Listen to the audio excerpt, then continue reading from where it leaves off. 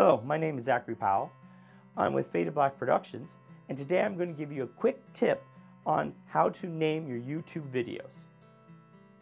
So when it comes to naming your YouTube video, most people, if they think about it, they will actually just go back and erase the dot .mov or MP4, and that's about it. If you take a little more time and think about it, you can actually get much better results.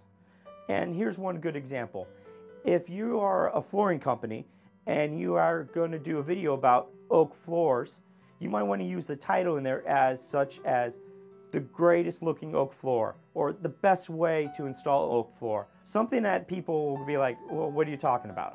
Another thing uh, people like is a top five or top 10 video. So if you're doing a um, about oak floor, you might want to say top five ways to keep your oak floor looking new or top five ways to keep your oak floor from being damaged. Something along those lines will actually draw more hits. Now another little quick little tip is at the end of your, your title, you want to put the name of your YouTube channel in the title. For example, going back to the flooring uh, example, if the name of your channel is Everyone Loves Flooring, then you would probably put it as top five ways to keep your oak floor looking like new, space, everyone loves flooring.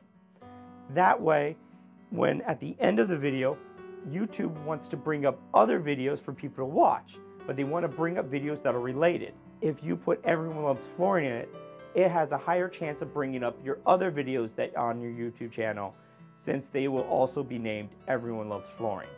Just a quick little tip for you. So next time you go ahead and upload a video to YouTube, just think about the name for a little bit and uh, hopefully those help out for you and get better rankings.